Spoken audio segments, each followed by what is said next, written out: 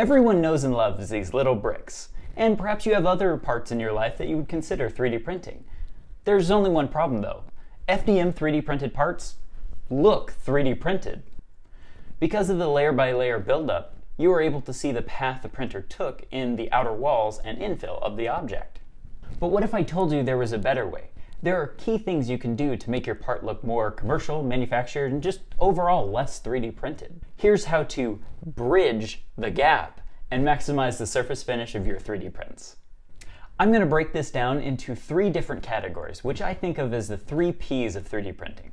That is preparation, print settings, and post-processing.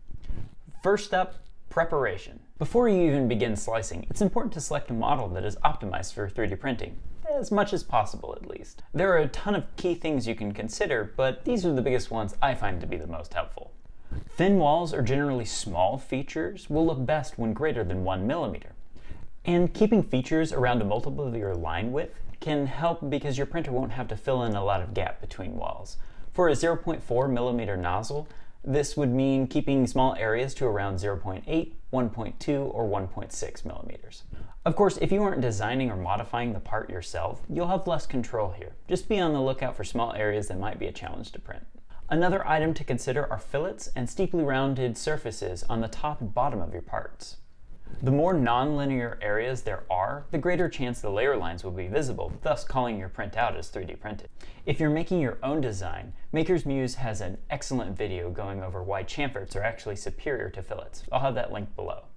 Last step for model selection is considering how and if supports will be used. For example, if I wanted to find a chess pawn model, and I found these two, the one on the right wouldn't require support, but the one on the left likely would just due to the overhangs in the design.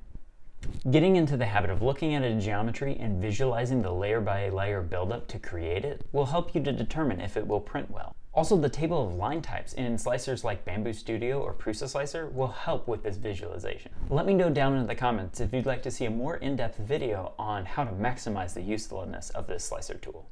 Okay, enough about the design aspects. Let's talk about what we're all crazy for, filament. When trying to make our 3D prints look less 3D printed, the material selected can have a huge impact. And there are a ton of options on the market. But first, I should issue a slight disclaimer here. Everything I'm going over in this video is dealing with aesthetics. Different materials will provide different mechanical and chemical properties that I won't go into. Basically everything that I'm going over is mostly geared towards PLA and PETG. Now, on to the options. Filaments with texture such as matte, silky, or glittery can hide layer lines and sort of trick the eye into seeing a uniform surface. Looking at makes on websites like Thingiverse or Printables will help you find the filament that is perfect for the project you're working on. Plus, once you do find a filament that you like, I'd recommend printing a Benchy or some small test print to help you get a feel for what the filament looks like on your printer. My favorite is this Calicat because it's quick, shows a lot of small features, and well, I just really like cats. Yes, I have too many of them. No, you can't stop me. Last step for preparation is choosing a build surface to print on. With options like glass, smooth PEI, textured, and satin sheets, you can achieve many different looks and textures. To hide the most lines, I print on a textured PEI sheet, but if I need a smooth gloss finish, I'll use a smooth sheet. This just depends on the look you're going for. Just make sure your first layer calibration is spot on to minimize any kind of warpage, elephant's foot, or anything else that will give away your part as 3D printed. Now that we've found a model, selected a filament, and decided what build surface to print on, it's time to talk about print settings. Within the slicer, we can change a few patterns and enable a few key features to get different results. The first I want to address is layer height. This one is a bit obvious, but the lower the layer height, the more layers will be present, and ideally, the less noticeable the layer lines will be. You will be limited based on your printer's capability, but generally around a 0.15 to 0.2 millimeter layer height will give good results while keeping print times manageable. Next is patterns. Almost every slicing software will give you the ability to alter the path your 3D printer will take for infill and the top and bottom of the model you are printing. By adjusting the top and bottom pattern or direction, you can drastically affect how the outer surface finish of your part looks. When I have a part that I am trying to make look less 3D printed, I like to use a line-based pattern like monotonic or zigzag and align the printing angle with the part geometry. For example, when making this dice stand, I changed the infill angle from 45 to 0 degrees, and the lines now print across the top surface rather than on an angle.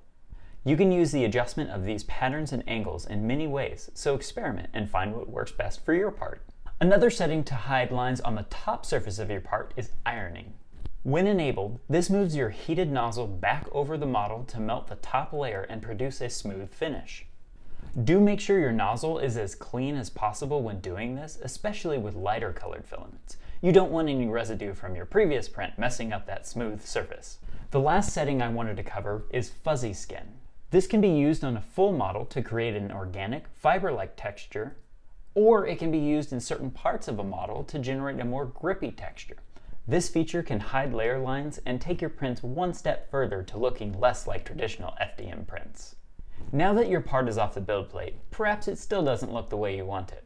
You could always go back into your slicer and start tweaking and do a couple other iterations, or you can start post-processing.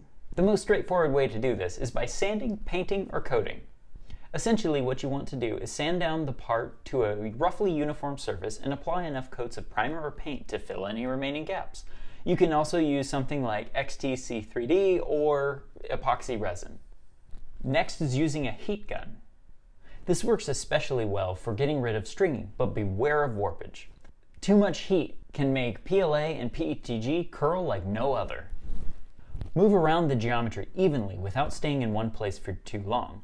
Also, adjust the heat gun temperature and fan speed starting on the lowest settings and gradually working your way up. The last post-processing technique I wanted to cover is vapor smoothing. The most widely known method here is smoothing ABS with acetone.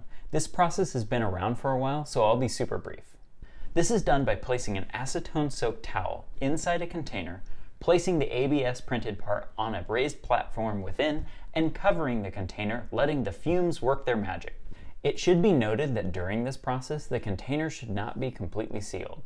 More and more acetone vapor will build up, and we don't want to have a pressure problem. You can also use isopropyl alcohol to smooth PVB. Essentially use the same process as the ABS acetone bath, but just know PVB may take longer. You can also smooth PVB by applying the isopropyl alcohol directly onto the surface, either by spraying or brushing. By selecting the right model and filament, dialing in your print settings, and post-processing as necessary, you can get a more and more refined print with each iteration. But what did I miss? Do you have other suggestions on how to make your 3D printed parts look less 3D printed? Leave them in the comments below. And if you have projects that look particularly disguised or don't look 3D printed, feel free to add those on our social media platforms. We'd love to see what you're working on. I'm Wyatt, and this is the 3D Printing Zone.